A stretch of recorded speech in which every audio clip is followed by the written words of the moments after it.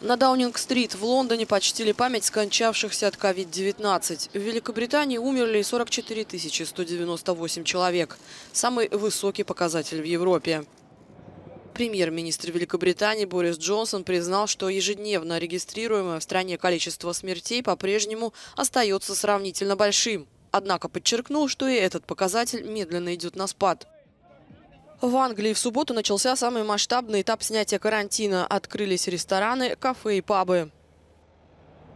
Между тем, в испанской Каталонии из-за значительного роста числа инфицированных новым коронавирусом вновь введен карантин. Ограничительные меры распространяются на район Сегрия в провинции Льейда с населением более 200 тысяч человек. На территории местной больницы открыт полевой госпиталь. Он может принять 105 пациентов дополнительно. Очаги новой вспышки инфекции были выявлены в основном на фермах, которые нанимают для сбора урожая сезонных рабочих.